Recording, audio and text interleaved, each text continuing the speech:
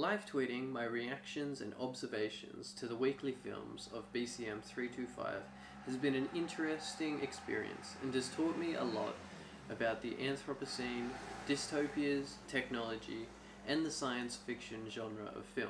Going forward in the rest of the semester, I would like to focus more on pre-generating questions through ChatGPT to generate more interactions with my peers, researching articles that relate to the subject material, and interacting more with other students' tweets.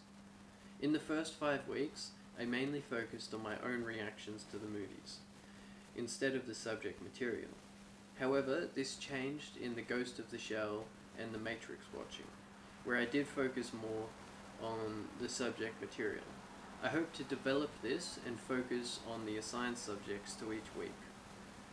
I only really scratched the surface of the capabilities of ChatGPT in these first five weeks, by asking how the film related to the subject material, or how the film reflects today's society. In the coming weeks, I hope to use the Be a Smart Film Student live tweeting this movie function to get more insightful tweets from ChatGPT. Anyway, that's only a minute and a half, so I hope that's good enough.